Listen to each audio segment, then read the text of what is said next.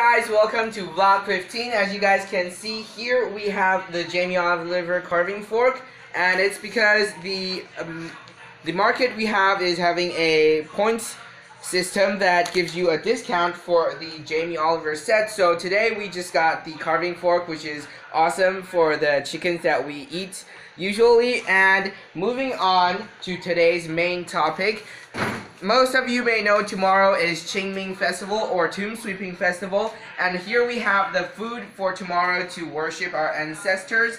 Let's go through them one by one. First off, we have some lobster tails.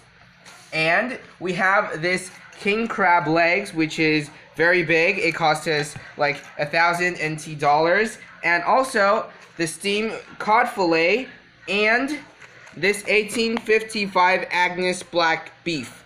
So, these are the things that we are going to use for tomorrow's worshiping. And as I said yesterday, this mysterious uh, refrigerator. So let's come and have a look inside. And here are all the food that my grandpa bought online. So here we have the boneless chicken legs, the fried chicken that's also found in 7-Eleven, some German German sausages, and some Taiwanese sausages, and also some ribeye meat. We have two bags over here, and also some sirloin steak, which looks beautiful, and another piece of black Angus beef back there, and here we have some steaks, and also this is just some of it. We have some more behind, and also some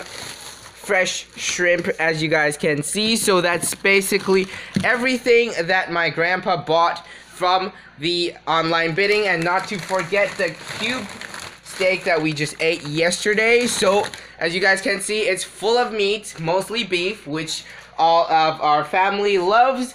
Hey guys what's up? Y'all remember the black angus steak that we talked about? Here's the finished product made with jamie oliver's carving fork and not Jamie Oliver's knife. So now let's have a taste test of it with this piece and of course go with some black pepper sauce. Mmm.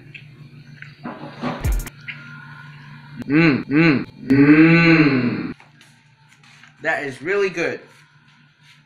It's really tender. The beef taste is very strong. The black pepper sauce is not too overpowering. And I think overall we succeeded. And next time we're going to try cooking it with the oven because this time we tried to sear it with the pen pan. So that's it for this video. Drop a like, comment, subscribe, and ring the bell in my channel. And I will see you guys in the next video. Thanks for watching.